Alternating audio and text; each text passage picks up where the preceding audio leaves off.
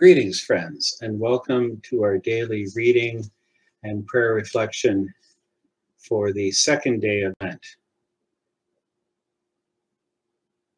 I'm reading from uh, Contemplating the Cross, a Pilgrimage of Prayer by Tricia McCary Rhodes. We begin with a quotation. In the cross, God is revealed not as one reigning in calm disdain above all the squalors of the earth, but as one who suffers more keenly than the keenest sufferer, a man of sorrows and acquainted with grief. Oswald Chambers. We begin by reading this passage in the Gospel of Matthew, chapter 26, verses 36 to 38. Then Jesus went with his disciples to a place called Gethsemane and he said to them, Sit here while I go over there and pray. He took Peter and the two sons of Zebedee along with him, and he began to be sorrowful and troubled. Then he said to them, My soul is overwhelmed with sorrow to the point of death. Stay here and keep watch with me. And he said to them, My soul is deeply grieved to the point of death. Mark 14, verse 34.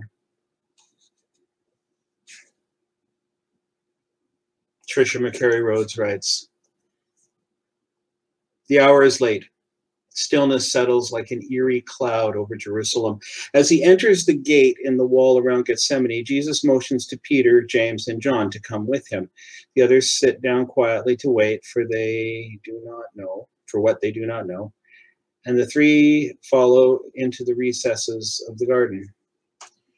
Jesus moves slowly, perhaps stopping to lean against a gnarled tree trunk. White knuckles protrude from tightened fists, and his head hangs in weariness.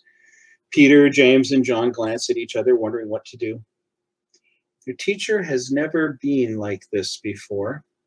They saw him cry when his friend Lazarus died, and only a week ago, as he entered Jerusalem, he sobbed out loud over the neediness there. Yet that was a strong cry, laced with sadness perhaps, but not despair. This is different. Overwhelming sorrow consumes the Christ. Through clenched lips, he utters, My soul is deeply grieved to the point of death a beleaguered bellow from the depths of his being. What must it be like to grieve to the point of death?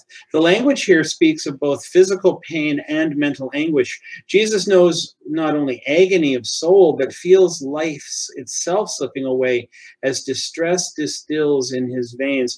Perhaps he could die even now. Simply close his eyes, let his heart break, and be swept into eternity's glorious gates. Instead, he laments aloud the condition of his soul. My soul is deeply grieved to the point of death. Does he hope to be comforted? Wish things could be different? Is all this a surprise to the omniscient one? Didn't he know before he came that his heart would tear in two? Does the omnipotent Son of God have no power over the pain that threatens to undo him?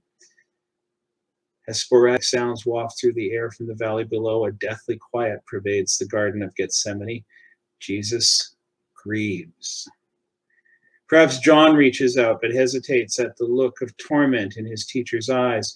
Peter looks around, ready to do something, anything to end the dis- distress. Jesus' body begins to shake. The man James once thought would be king is now pale, gaunt, and powerless man of sorrows, acquainted with grief. Strange words to describe a deity, but he has given it all up. Didn't consider equality with God something to cling to. Now, what must the Messiah think? Does he long for a taste of the days when angels sang and all of creation cried out to his exalted presence? Would he shed his royal robes so readily in light of this smothering sadness? Is the love that once sent him spinning into a woman's womb faltering even a little? A resounding no echoes through the halls of eternity. The wretchedness written on the face of Christ will play itself out to the bitter end. Anything less would leave God's children hanging in the balance, bound in the slave market of sin's great camp.